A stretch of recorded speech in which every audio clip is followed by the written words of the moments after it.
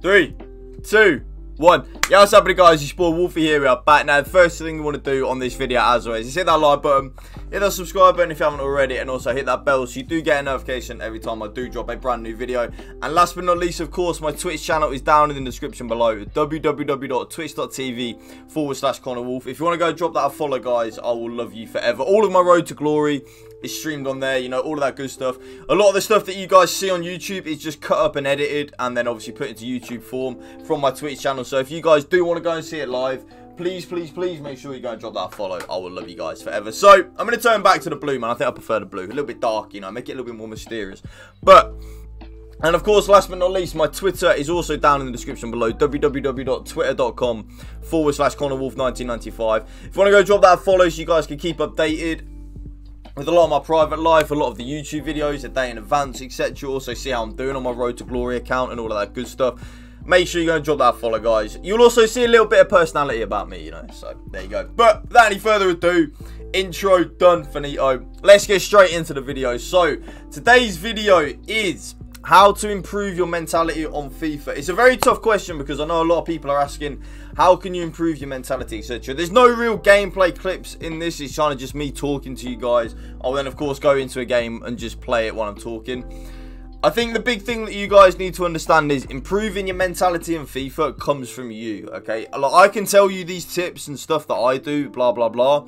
But at the end of the day, you've got to want to improve your mentality of FIFA. You've got to want to change. You've got to want to improve of FIFA. You've got to want to do all of these things. And if you can finally then do all these things, then I promise you, you will improve your mentality on FIFA.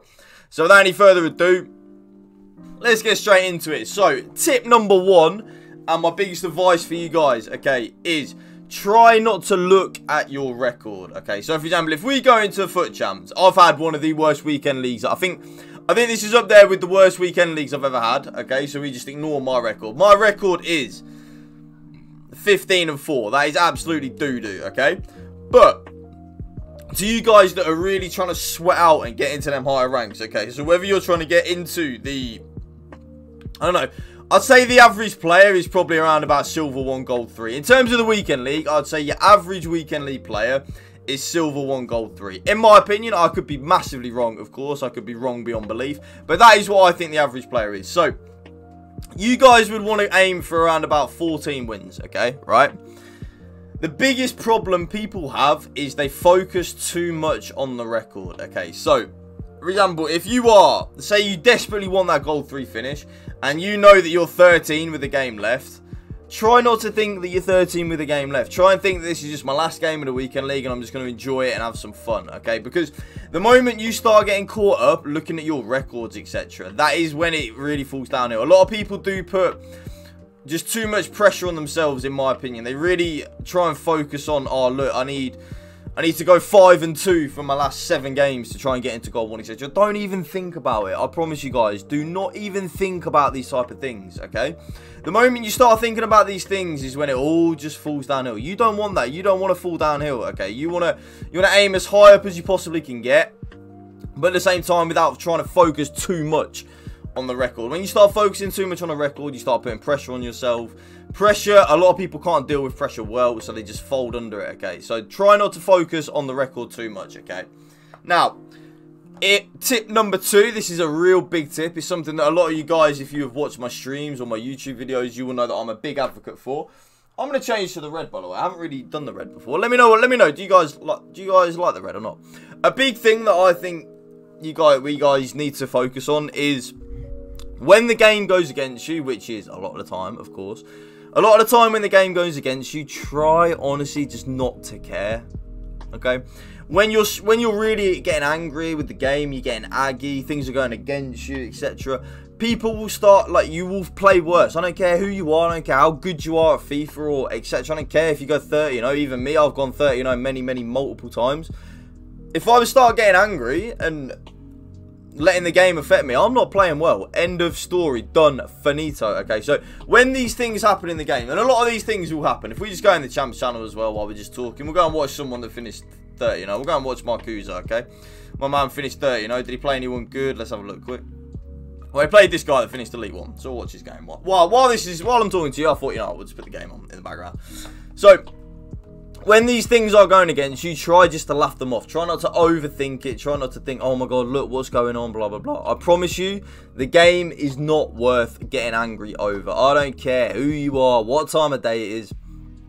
This game is not worth getting angry over. And the moment you start getting angry over the game, you're done. Finito, okay? So, a simple tip to try and not get angry at the game. I've found that this works for me anyway. I don't know whether it would work for everyone, but it definitely works for me. It's just laugh. Okay, so when you tackle this, when you tackle your opponent and he wins the ball for the 20th time in a row, just laugh, okay? Instead of getting angry, shouting, you know, you might throw your controller somewhere. Honestly, I promise you, just sit there and laugh, alright?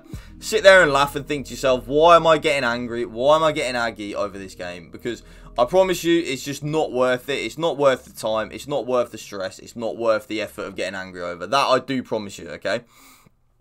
So, tip number three, and I think this is probably the that's a great ball by the way. Probably the biggest tip that you can get, in my opinion anyway. That would be wait there, my music's just stopped. Has it stopped?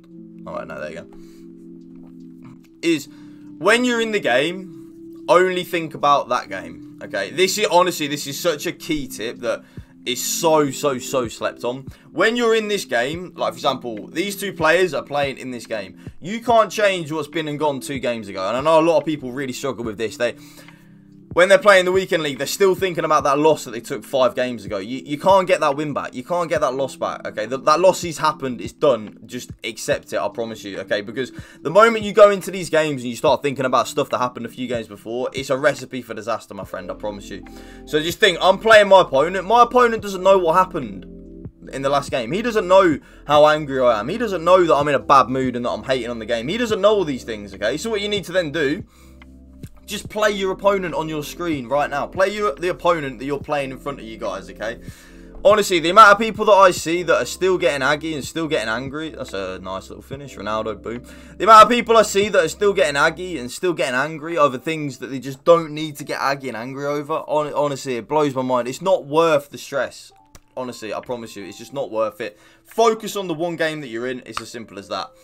So that right there, ladies and gentlemen, is going to be the end of the video. They are some key tips that I think will really help improve your mental ability, okay? I know a lot of you guys will probably disagree or agree or...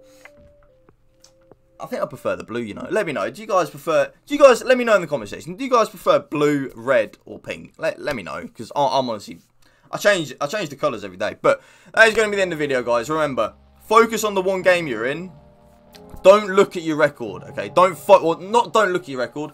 But don't focus and don't get gung-ho caught up on your record. Okay, oh, okay. thank you, Andy. Don't, don't focus on your record and get caught up in it, please. But yeah, that's to be the end of the video, guys. Thank you for watching, and I'll see you next time. Bye-bye.